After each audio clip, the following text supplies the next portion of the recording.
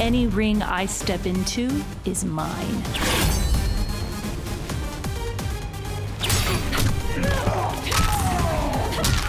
End of the line. Then this fight is now personal.